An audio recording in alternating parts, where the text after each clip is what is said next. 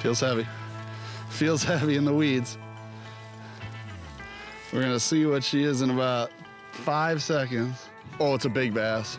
You in net or you good? I think we're good. Okay. Hey. Good morning, everyone. We are out on Lake Delavan, and I'm fishing with my good friend, Violet Talley, Lake County Water Sports Pro staff. We're out on Violet's beautiful new Skeeter. We're gonna be checking it out today. We just got this little guy. We're gonna get her back in the water. Nice fish to start the day. Hey, Jim, let's get a weight on that, all right, on the Bubba scale. Sure. Me and Violet are tournament anglers, so it's it's only fitting that we have a little competition on the boat. So we're gonna see what this one comes in at. Three pounds, five ounces. All right. Hey, great way to start the day. Let's get this fish back in the water. Got him? I got him. Yep. Oh, yeah, he's not bad. He's all, he was all the way up there. That's why I was trying to, trying to get a little closer. Oh, yeah. Yeah, nice Oh, post a spawn nice fish. Nice post spawn fish. I have one hook in him. If you want. Wow. Nice. Look at that, barely hooked. Yep. Another three pound class fish. Yep.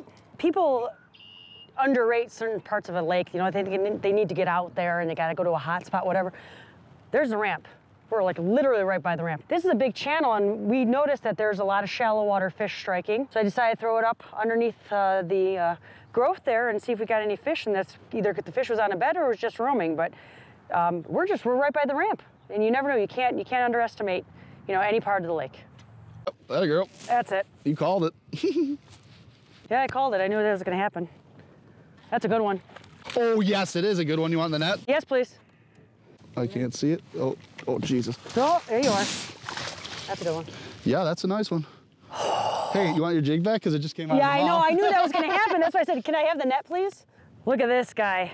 And the jig just fell out of his mouth. So these fish, post-spawn fish, look at that.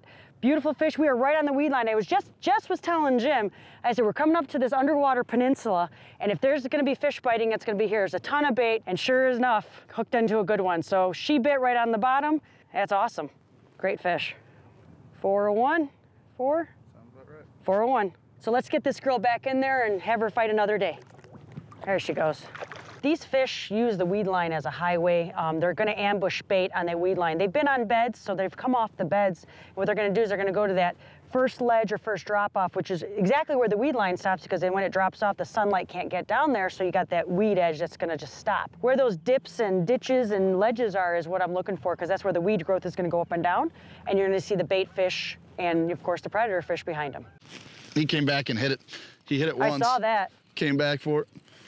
Oh, that's a good one. That's a nice one. We only catch good ones, Violet. That's how we got to do it, you know? Taking some drag even. Okay.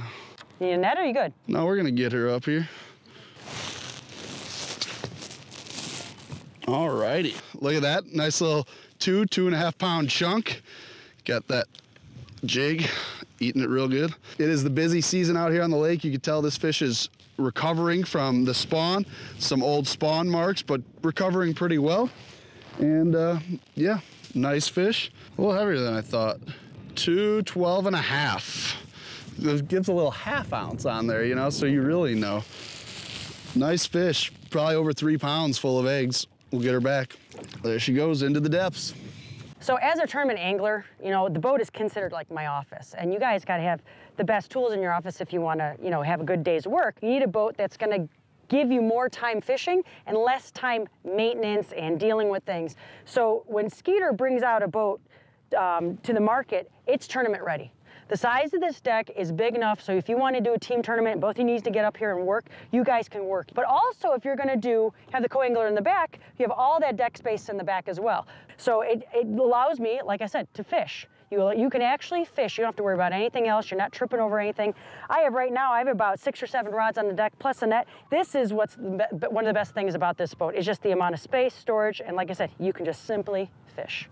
So the great thing about Skeeter boats, they do come tournament ready straight out of the factory. However, when you want to put those finishing touches on, you have to be able to trust your dealer to be able to do it and do it right.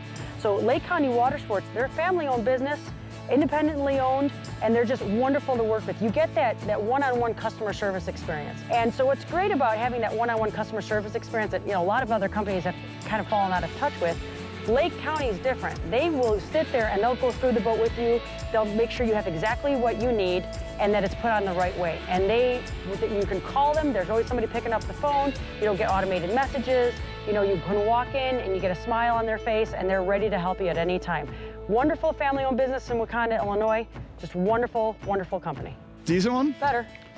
Oh, there we go. You want that or you gonna flip the, old? oh, Uh, yeah, he's barely hooked. about a three pounder? Keep growing that bag. Oh, sorry, buddy. Sorry. Sorry, bud. Appreciate it. That's all right, put anything for the fish. So it looks like we got a decent bass now. We got on that missile jigs, uh, 3 8 ounce missile jigs, and it hooked pretty good. Not too bad. Wow, hooked really good. I'm glad because the last one it kind of came out. Beautiful, beautiful bass. Another nice one. Hey, this is the kind of beautiful fish that are able to be caught right here in the Chicagoland area, southeast Wisconsin area. So if you guys want to get on the water this year and catch some fish like this, stop in Lake County Water Sports.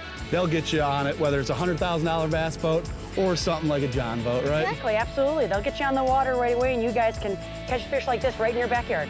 I'm Jim O'Neill, and for Violet Talley, stay tuned for more Midwest Outdoors. Another beautiful one from Lake Delavan. Beautiful